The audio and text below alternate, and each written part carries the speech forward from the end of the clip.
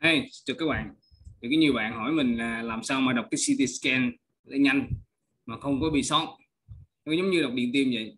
Tuy nhiên thì CT scan nó có một cái vài điểm nó sẽ khác điện tim một chút. Thì CT scan tại cấp cứu hay bất cứ chỗ khác, một khoa phòng khác khi bệnh nhân đưa chụp CT scan thì sau khoảng 1 đến 2 phút thì kỹ thuật viên sẽ up cái hình ảnh nó lên hệ thống phát sau đó thì bác sĩ chẩn đoán ảnh sẽ dựa theo cái đó hoặc là in phim ra người ta sẽ đọc như vậy thì khoảng thời gian giữa hệ thống bắc có rồi mà tới bệnh nhân mà được đọc bởi bệnh chẩn đoán ảnh á có thể là từ vài chục phút cho đến một giờ. Như vậy là rất là nguy hiểm cho bệnh nhân. Như vậy thì mình làm sao? Mình đọc được đó đọc được cái CT đó nhất là CT sọ chứng thương sọ não chẳng hạn hoặc là một cái tổn thương não do bệnh nhân hôn mê rồi quỵ chẳng hạn. Thì đó là rất là rất là quan trọng và rất là, rất là tốt cho bệnh nhân cũng như cho cho cả bác sĩ cả thì đầu tiên chúng ta phải nói đến CT scan cơ bản thì chúng ta CT scan thì hình ảnh CT scan nó dựa vào cái đơn vị Hochschild thì đơn vị Hochschild thấy được là ví dụ như từ khí á, là từ âm một ngàn nó đen như vậy nha. khí trên CT scan nó sẽ đen như vậy nha.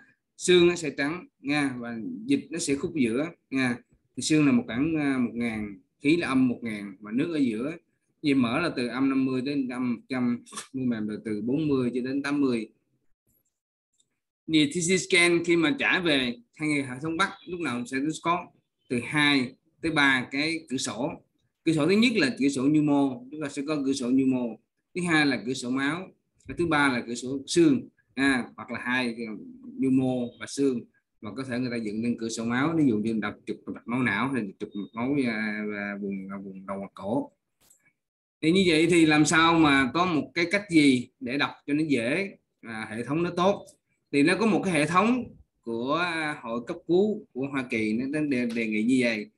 Đó là BCBBB à, một cái câu rất dễ nhớ hơn là blood can be very bad như là máu có thể rất là xấu.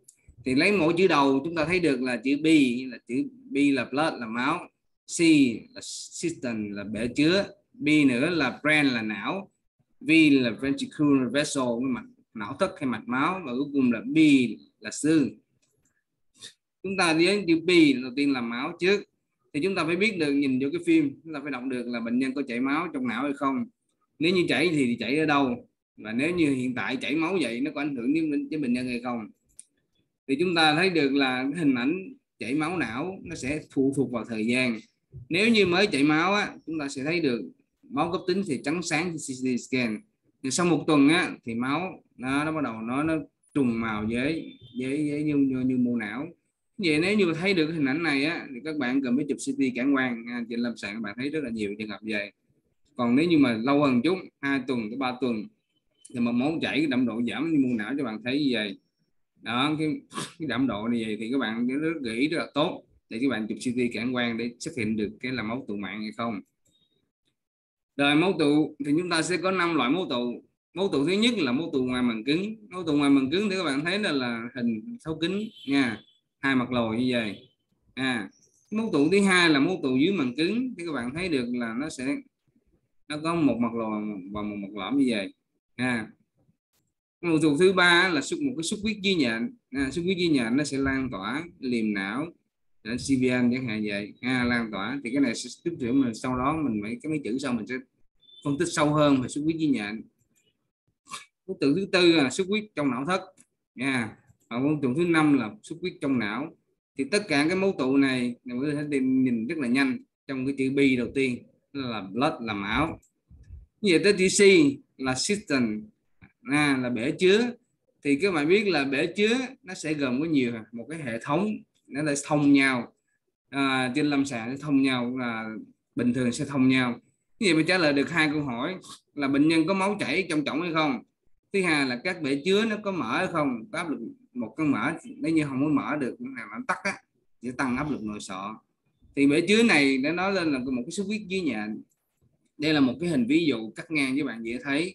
Thì cái bể chứa mình nó sẽ là A, B, C, D, như vậy nha A, B, C, D, như vậy nha thì các bạn thấy là các các bể là bể trên yên, bể quả não sinh tư bể dưới cầu não bể à, quanh cầu não nè thì bình thường thì các bể này nó sẽ thông với nhau. À, nếu như một trường hợp nào đó gây chảy máu não dẫn đến là tình trạng xuất huyết dưới nhện à, hoặc là một cái đông máu ngay bể dưới này dẫn đến tình trạng nó sẽ tắt lại và bệnh nhân có thể tăng áp suất áp lực nội sọ. Đây đây là một ví dụ. Đây là một cái ví dụ viết cắt ở trên cầu não trên chút. À, bạn thấy được xuất huyết đây. Rồi một cái ví dụ nữa. À, các bạn thấy được cái xuất huyết ở đây à, một cái xuống đây một cái xuất huyết đây là lãnh CVN các bạn rất là dễ thấy đây. Thì hết mấy cái hình ảnh nãy giờ một phần ba cái ba cái hình ảnh nãy giờ đây cũng rất là, cũng, cũng cũng hiếm gặp lắm. Tại vì cái thường nó chảy là chảy ảo ạt. Đây là một ảnh chảy ảo ạt đây. Hình ảnh này các bạn thấy rất là nhiều trên lâm sàng. Các bạn thấy là nó chảy là vì bốn khoang nó thông nhau. Bốn khoang thông nhau thì nó sẽ chảy từ lãnh CVN cho đến não thứ tư cho tới não. Đây cái trên của cái supercellular này, đó tự nhiên này đó nó sẽ nó chảy đều hết trơn á. Rồi đó là xuất huyết di nhện rồi tiếp tiếp theo là chữ B là brain là não. Thì nếu các bạn đánh giá về não các bạn sẽ đánh đánh đối xứng của não. Não có hai bán cầu các bạn coi bên này tổn thương thì bên kia nó có hay không? Nếu như đối xứng là coi chừng không phải. Nhưng mà nó không đối xứng thì có thể là một tổn thương. Thứ hai là các bạn phải đánh giá được sự khác biệt về trắng xám dấu hiệu tổn thương tiêu suy não hay gì đó là trắng xám như là bỏ não. Nha các bạn xin lỗi bạn cho coi thì hình ảnh của tiêu suy não. Thứ ba các bạn đánh giá lực đường giữa đường giữa có lệch hay không. Thứ tư là đánh giá thì tăng giảm động độ hyper hypo density. À, đang đang giảm động độ đánh giá được ờ, có thể có khối u hay không. Đây đây là một ví dụ một cái ví dụ về à, trắng xám. Xóa hết à, xóa hết cái rãnh não mà tăng à, sự cắt bị trắng xám không còn nhiều nữa. Đây là một ví dụ về đường giữa lệch. Đây đường giữa lệch đánh giá đường giữa làm sao? Chúng ta thấy một cái đỉnh liềm não trên và đỉnh liềm não dưới đánh một kéo một đường. Và còn lại là cái này là đường giữa lệch. Thì các bạn đánh giá ví dụ như là trắng xám đây mất nè nè bên đây trắng xám nó mất rồi. Bên đây đã mất trắng xám rồi nhưng mà ví dụ như bên đây còn nè bên đây còn còn trắng xám đây. Đây đây bên đây vẫn còn trắng xám. Đó đó là ví dụ về à, trắng xám cũng như đường giữa lệch rồi ví dụ như một cái à, giảm động độ CT scan đây do sự hiện diện của thông khí phù nề hoặc là một cái mô mỡ. Đây là khí trong nội sọ đây. À, rồi cái này là một cái phù não cạnh một cái cái u não đây.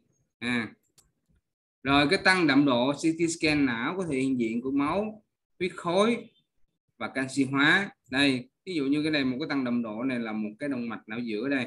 À, rồi tiếp theo chúng ta thấy nếu như mà có gì á, chúng ta nghĩ một cái u não một một biểu hiện u não như thế nào thứ nhất là xuất huyết xung quanh có thể đậm đặc nhẹ hoặc tùy giảm tục về chính của về xuất huyết.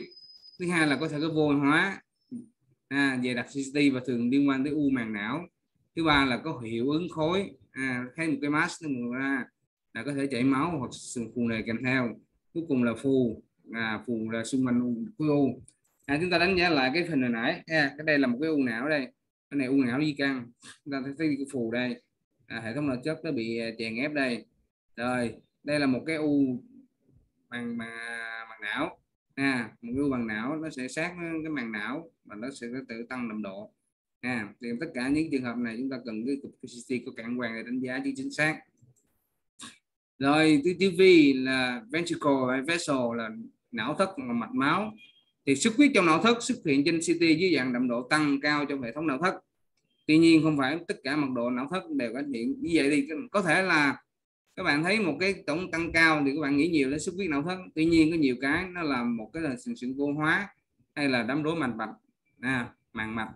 Thì ví dụ như các bạn đây thấy này đây là xuất huyết não thất rõ ràng ha não thất nó bị chảy máu tùm lum ở đây ha nhưng mà các bạn ví dụ như bạn thấy một cái chấm hai chấm ở đây hoặc là một dãy chấm ở đây à cái này là đám rối mạch mạc chứ không phải là xuất huyết não, đó là sự phân biệt.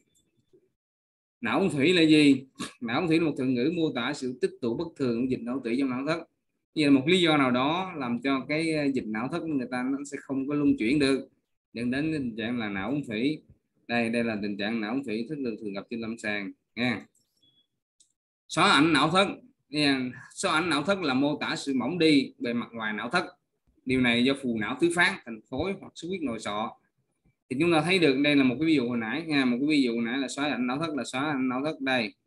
Nó sẽ mất đi đây còn nè đây mất rồi à, là do một cái u gây phù nó ép vô. Hoặc là máu tụ ngoài màng cứng máu tụ dưới màng cứng cũng thể xóa đè ép cái não thất mất luôn. À. Vậy tiếp theo đến là chữ B là chữ bone là xương. À, xương á, là chẩn đoán xương sọ cái gây nhầm lẫn với một cái trường hợp là chỉ sâu chỉ khâu trong hộp sọ à, cái này cũng không có nhiều không không không có hay gặp nhưng mà có thể phát hiện có thể nhầm lẫn. Thứ hai là gãy xương sọ là gãy lõm hay không lõm hay là gãy lúng á. À, thứ ba là sự hiện diện không khí nội sọ. Trong phim CT có nghĩa hộp sọ màng cứng đã bị lủng rồi. À thế bào xí xương chủng không thông gợi ý là có thể vỡ xương đá. À, tất cả các hàng xương hàm trên xương sàn xương bướm đều được thấy và được thông khí sự hiện diện của chất lỏng như vỡ xoay chẳng hạn chấn thương dấy lên nghi ngờ về xương sọ vỡ xương sọ. Vậy các bạn ví dụ các bạn có một trường hợp bị gãy xương sọ mà gãy ờ, lơ pho chẳng hạn lơ hai lơ pho ba. Nếu bạn chụp lên nếu bạn thấy vỡ sang hàm hai bên các bạn gãy vỡ xương hàm vỡ xương bướm vỡ xương đá.